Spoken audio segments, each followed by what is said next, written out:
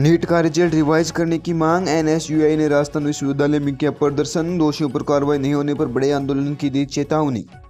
राजस्थान में आंधी का अलर्ट, यूपी एमपी में हीट वेव, महाराष्ट्र पहुँचा मानसून, बारिश से तमिलनाडु के कई इलाकों में पानी भरा।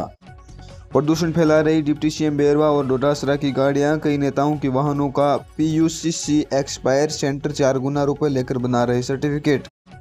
बीजेपी की हिंदू मुसलमान और मंदिर मस्जिद की राजनीति रही फेल। सचिन पायलट बोले, इंडिया अलायंस को देश में समर्थन मिला। अनुमान बेनीवाल आज भी गठबंधन में आरसी चुनाव पर असमंजस बरकरार, एडहो कमेटी के सदस्य बीसीसीआई से मांगेंगे फंड। बिहानी बोले, हमारी माली हालत खराब।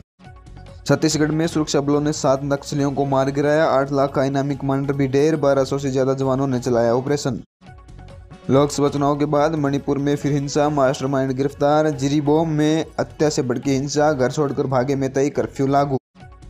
इंडिया ब्लॉक खड़गे की अध्यक्षता में कांग्रेस वर्किंग कमेटी की आज बैठक, अखिलेश सपा के नए सांसदों से मुलाकात करेंगे।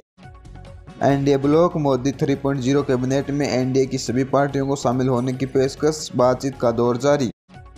मोदी का बेहतर मिनट का भाषण इस बार एनडीए बोले, कहा, कुछ लोगों का काम चुनाव प्रक्रिया पर सवाल उठाना, ईवीएम ने सबको जवाब दिया। कंगना रनौत को थप्पड़ मारने वाली सीआईएसएफ कांस्टेबल पर एफआईआर एक्ट्रेस की बहन ने विवादित बयान दिया, बॉलीवुड सिंगर बोले, कुलविंदर को नौकरी दिलाऊँगा।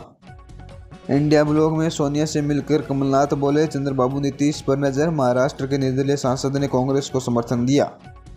राजस्थान के दो सांसद इंडिया ब्लॉक से नाराज़, हनुमान बेनीवाल बोले, मेरा अपमान हुआ। गहलोत से मिलकर रोत बोले, हम विपक्ष के साथ स्वतंत्र एमडीएच एवरेस्ट में चार बड़ी कंपनियों के मसालों के सैंपल फेल, ज़रूरत से ज़्यादा इस्तेमाल हो रहा, केमिकल स्टॉक होगा सीज।